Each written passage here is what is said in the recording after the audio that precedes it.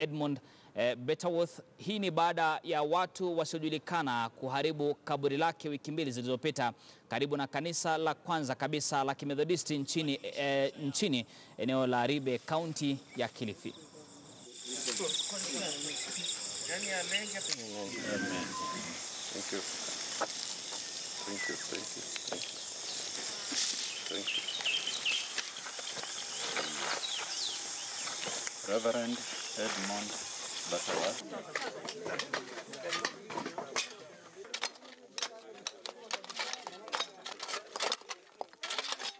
Kulingana na mipango ambayo kanisa letu la Kimethodist limeweka kuhusu mahali pale, kuna mpango wa kujenga a prayer center na mahali pale kulindwa na kuhifadhiwa vizuri. Sisi kama Methodist Church in Kenya tunakashifu vikali tendo hilo, kwa sababu pahali pale chini ni pahali pa historia kwa kanisa hii yetu ya Methodist Church in Kenya and East Africa,